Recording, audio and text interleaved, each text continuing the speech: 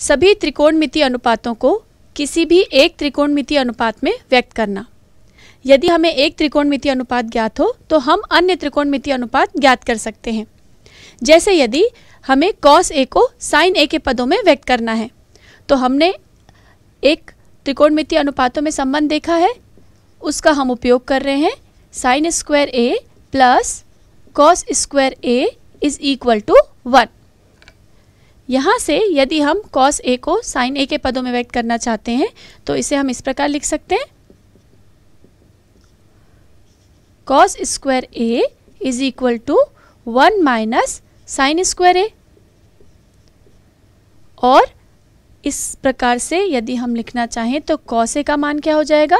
Square root one minus sine square A तो अब यदि आपको साइन का मान पता हो, साइन ए का तो हम इस संबंध से कॉस ए के रूप में उसको लिखकर उसकी वैल्यू भी ज्ञात कर सकते हैं। तो हमने यहाँ कॉस ए को साइन ए के पदों में व्यक्त किया। बिल्कुल इसी प्रकार यदि हम टेन ए को साइन ए के पदों में व्यक्त करना चाहते हैं तो क्या कर सकते हैं? हम जानते हैं कि टेन ए बराबर होता है sine A upon cos A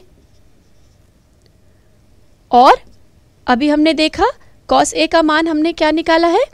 Square root one minus sine square A तो इसे हम उपयोग करें तो हम देखेंगे sine A upon cos A के स्थान पर हम लिख लेते हैं square root one minus sine square A तो हम क्या देख रहे हैं कि टेन ए को साइन ए के पदों में इस प्रकार से व्यक्त किया जा सकता है।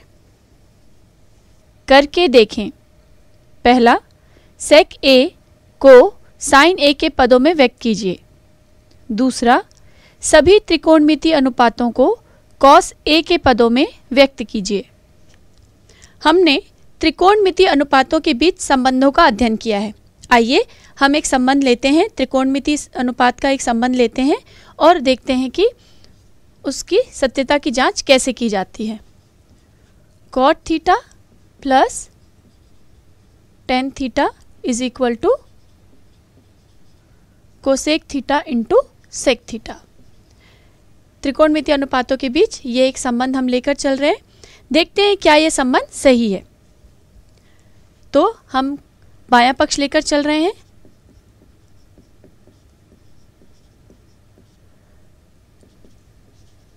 Cot theta plus tan theta आप जानते हैं कि कॉट थीटा का मान क्या लिखा जा सकता है? Cot theta is equal to हम लिख सकते हैं cos theta upon sine theta और इसी प्रकार टेन थीटा हम टेन थीटा को लिख सकते हैं sine theta upon cos theta sine और कॉस के पदों में टेन और कॉट को लिखा जा सकता है। तो हम इसी का प्रयोग करते हुए लिखते हैं कॉट थीटा के स्थान पर cos theta upon sine theta और टेन थीटा के स्थान पर हम लिख रहे हैं sine theta upon cos theta इसे हल कर लें। तो एलसीएम लेने पर हमको डिनोमिनेटर में क्या मिलेगा? Sine theta into cos theta और न्यूमरेटर में ये हो जाएगा। कॉस थीटा यहाँ पर है तो एक और कॉस थीटा मल्टीप्लाई होगा, इसलिए ये हो गया कॉस स्क्वायर थीटा बिल्कुल इसी प्रकार एलसीएम लेकर जब हम हल करते हैं तो हमें यहाँ पर मिल जाएगा साइन थीटा का मल्टीप्लिकेशन साइन थीटा से, इसलिए ये भी हो गया साइन स्क्वायर थीटा जब आप न्यूमरेटर देख रहे हैं, यानी कि अंश अंश में देखें तो ये cos square theta plus sine square theta और हमने अभी त्रिकोणमिति अनुपातों में जो संबंध में देखा था, कि sine square theta plus cos square theta is equal to one होता है. ये सरसमिका हम देख चुके हैं.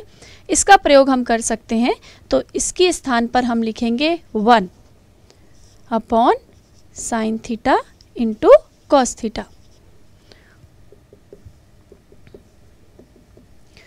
चलिए, अब आप इसे इस प्रकार भी लिख सकते हैं। One upon sine theta into one upon cos theta अब इसे ध्यान से देखें। One upon sine theta one upon sine theta क्या होता है? कोसेक थीटा कोसेक थीटा बराबर वन अपॉन साइन थीटा और बिल्कुल इसी प्रकार, यदि हम बात करें वन अपॉन कॉस की तो वो होता है sec theta one upon cos theta जो है, वो है सेक थीटा तो अब इसका उपयोग करें। तो आप क्या लिखेंगे? वन अपॉन साइन के स्थान पर। वन अपॉन साइन थीटा के स्थान पर होगा cosec theta into one upon cos के स्थान पर हो जाएगा सेक थीटा तो ये आप देखेंगे, जो संबंध हमने लिया था, उसमें ये उसका दाया पक्ष है। बाया पक्ष हम लेकर चले और हमें मिल गया है दाया पक्ष। इसका मतलब ये जो संबंध हमने लिया ये सही है।